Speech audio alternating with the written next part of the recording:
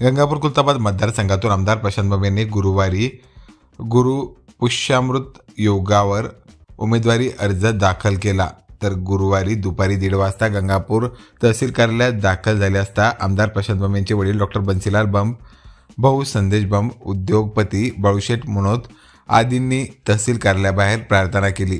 तदनंतर लासू स्टेशन कृषी उत्पन्न बाजार समितीचे माजी सभापती शेषराव जाधव गंगापूरचे सभापती भाऊसाहेब पदार भाजपचे तालुका प्रमुख रवींद्र पाटील चव्हाण युवा जिल्हाध्यक्ष अमोल पाटील जाधव आदींचे उपस्थित उमेदवारी अर्ज कोणतेही शक्तीप्रदर्शन न करता निवडक नेत्यांसोबत निवडणूक निर्णय अधिकारी सुचित्रा शिंदे तहसीलदार नवनाथ वाघवड यांच्याकडे आपला उमेदवारी अर्ज दाखल केला. दरम्यान उमेदवारी अर्ज दाखल केल्यानंतर आमदार सतीश चव्हाण यांचे नाव न घेता पत्रकारांशी बोलताना आमदार बम म्हणाले की माझ्यासमोर बहुचर्चित असलेल्या विरोधी उमेदवाराचे विकास काम माझ्या तुलनेत पाच पैशाचे नसल्याने मी पन्नास हजार मताने निवडून येणार आहे. कारण मी राज्यात सर्वाधिक विकास निधी मी खेचून आणला व मतदारसंघात विविध विकास कामे केलेले आहे.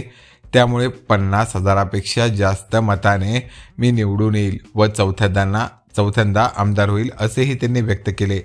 यावेळी किशोर घा धनायात दिलीप निरफळ रामेश्वर मुदडा लासूरचे माजी उपसरपंच गणेश व्यवहारे माजी संचालक सुरेश जाधव दीपक बडे दिलीप सिंग राजपूत अनिल घुगे सचिन काकडे कृष्णाकांत व्यवहारे रजाक पठाण गोपाल वर्मा विशाल खोसरे प्रशांत मुळे अतुल रासकर गणेश चव्हाण अरुण सागर अभिजित मालोदे भगवान गाडे विकास कापसे हशाम पटेल ज्ञानेश्वर सवई योगेश चव्हाण बाळा राजपूत सोमनाथ नेमाने आदीसह कार्यकर्ते मोठ्या संख्येने उपस्थित होते.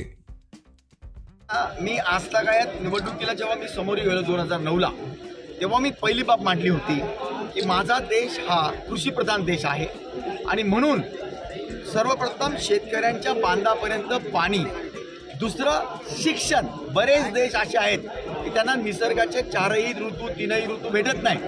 माझ्या देशामध्ये तीनही ऋतू निसर्गाने प्रचंड दिलंय. परंतु इतर देश शिक्षण चांगलं असल्यामुळे तो देश अतिश्रीमंत आहे. आणि म्हणून मी शेताच्या बांधापर्यंत पाणी शेताला जाणारे सगळे रस्ते त्यानंतर शिक्षण अशा महत्त्वाच्या बाबींवर काम करत आलोय. आणि आता राहिलेलं मी लिफ्ट इरिगेशन स्कीम सुरू केल्या. प्यायला पाणी पंच्याहत्तर वर्षामध्ये हांड्याने आणावं लागत होतं. मी डायरेक्ट गोदावरीचं पाणी प्रत्येकाच्या घरापर्यंत घेऊन चाललो. असे बरेच कामं आहेत. आणि शिक्षण हा मी बेस धरलेला आहे.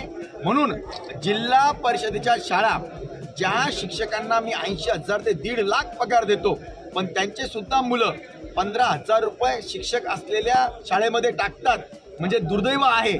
म्हणजेच याचा अर्थ दर्जाहीन आमचे गव्हर्नमेंटच्या शाळा होऊ लागलेल्या आहेत. म्हणून मी शाळेवर म्हणजे शिक्षणाच्या दर्जावर प्रचंड काम करणार आहे. ते प्रत्येक समाजामध्ये वेगवेगळे घटक आपापल्या बाबी घेऊन लढत असतात. मला असं वाटतं की जे मनोज भाऊ जरांगे यांचाही जो विचार आहे आणि इतरही संघटनाच्या पदाधिकाऱ्यांचा विचार असतो तसा संपूर्ण विचार माझाही असल्यामुळे मी सर्वांगीण सर्वांचाच विकास केलेला आहे. म्हणून मला सर्वांचं सहकार्य असलं पाहिजे आणि आहे. सर्व निवडणुका विकासाच्याच जोरावर लढलेल्या आहेत. आणि म्हणून मी जे ऐकतोय आता जे आपण सांगितलं जे माझ्यासमोर येत आहेत खरं म्हणजे दुर्दैव असं आहे आपल्या राज्याचं. की असे कोणी परिषदेतले आमदार असतात हेच माहीत नव्हतं. आणि ते सतरा वर्षापासून आमदार आहेत. माझ्यासमोर त्यांचं काम पाच पैसे पण नाही आहेत आणि म्हणून मला मागच्यापेक्षा डबल लीडने निवडून येण्याचा अति आणि म्हणजे काय तर मला आत्मविश्वास आहे. महायुतीतर्फे एकशे अकरा गंगापूर खुलताबाद मतदारसंघ जिल्हा संभाजीनगर भारतीय जनता पार्टीला सुटलेला आणि म्हणून कमळ हे माझं चिन्ह आहे. आज त्याकरता मी महायुतीतर्फे फॉर्म भरलेला आहे.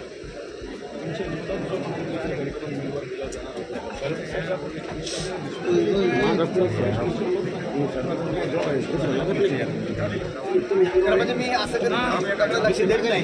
मी जे बघतोय आता सध्या महाराष्ट्रामध्ये प्रचंड माझ्या मतदारसंघामध्ये म्हणजे माझ्या मतदारसंघावर सर्वांचं लक्ष आहे.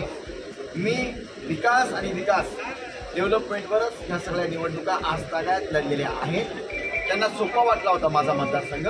परंतु लोक जे सांगतायत की प्रचंड विकास प्रशांत बम याने केलेला आहे म्हणून अशी अवस्था असतात भेटत नाही. तर मी असं काहीच बोलणार नाही. तर तो मला असं वाटतं की जे कोणी मला समोर दिसत आहेत बऱ्याच वर्ष दोन वर्ष पाच वर्षापासून मी बघतोय की माझ्या विरोधामध्ये जे राहण्याचा प्रयत्न करतायत त्यांना माझ्या विकासाचा धसका. कारण माझं फक्त इतकंच आव्हान आहे. जनतेच्या मार्फत आव्हान आहे. आपण अ, परमपूज्य डॉक्टर बाबासाहेब आंबेडकर साहेबांनी दिलेल्या घटनेद्वारे ज्या निवडणुका लढवतो त्या फक्त विकासाकरता लढवत असतो. आणि म्हणून प्रत्येकाने लढवताना विकासावर लढावं. मी असं याच्याकरता बोलतोय आहे जे मी ऐकतोय माझ्या विरुद्ध जे येत आहेत ते सतरा वर्षापासून आमदार आहेत. आमच्याही मतदारसंघामधले ते आमदार आहेत. दुर्दैव असं आहे की माहीतच नसतं की असे आमदार वरच्या हाऊसमध्ये असतात. आणि जितकी मी पंधरा वर्षापासून विकास केला खरं म्हणजे ती त्यांची जबाबदारी होती. विधानसभेपेक्षा पण विधान परिषदेची जबाबदारी जास्त असते. पण माझ्यासमोर त्यांचं पाचही पैसे काम नाही आहे आणि म्हणून विकासाच्या दृष्टिकोनातून मला प्रचंड विश्वास आहे की जनता मला चौथ्यांदा निवडून देईल. निवडणुकीच्या निकालाच्या दिवशी म्हणजे तेवीस तारखेला यावेळेला माझ्या मतदारसंघाचं चित्र स्पष्ट झालेलं असेल. आत्तापर्यंत मी जवळपास पन्नास हजारच्या लीडच्या पुढे पोहोचलेलो असेल. आणि मागच्या वर्षीच्या लीडप्रमाणे म्हणजे मागच्या वर्षीची लीड होती त्याच्या डबल लीडने किमान मी निवडून येणार.